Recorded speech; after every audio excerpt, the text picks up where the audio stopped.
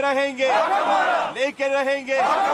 लेके वही वोट वही वोट आज का ये जो प्रोटेस्ट प्रोग्राम बना है एक आ, सारी चीज़ों को मद्देनज़र रखते हुए जो पीछे 2017 से हम बात करेंगे जो यहाँ से बटमालू बस स्टैंड शिफ्ट हुआ था टू पारिमपोरा, जो पीडीपी सरकार में एक आर्डर पास हुआ था कि बटमालू बस स्टैंड को पारिमपोरा शिफ्ट करना है।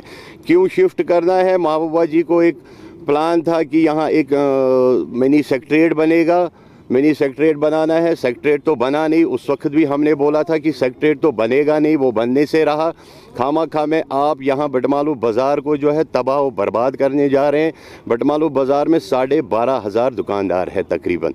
और इन दुकानों पे कम से कम कुछ नहीं तो तीस से चालीस लोग हज़ार लोग जो थे, जो एज अ सेल्समैन यहाँ काम करते थे, जिनकी संख्या आज गिरकर आठ या सात या आठ हज़ार तक आ गई। बाकी सारे निपट गए, उनको हमने निकाल दिया, क्योंकि बिज़नेस रहा नहीं। बिज़नेस सारा ख़त्म हो गया।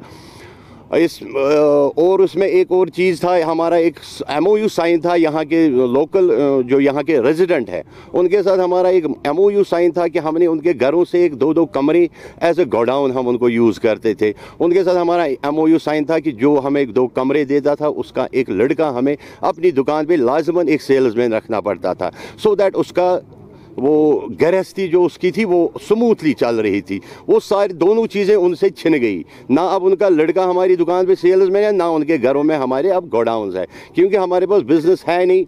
गोडाउन लेके क्या करेंगे? खामा खा में 2017 से 2018 तक 19 तक हमने किराया बेकार में उसको दे दिया। लेकिन उसके बाद जब हमारा बिज़नेस भी जवाब दे गया तो हमने वो कमरे भी छोड़ दिए। हमने उन सेल्समैनों को भी निकाल दिया, उनको भी खैर बात कर दिया।